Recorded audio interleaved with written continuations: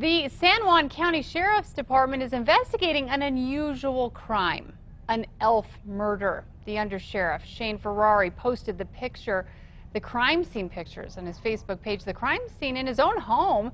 He even posted a picture of the horrified witnesses. And they already have a prime suspect identified.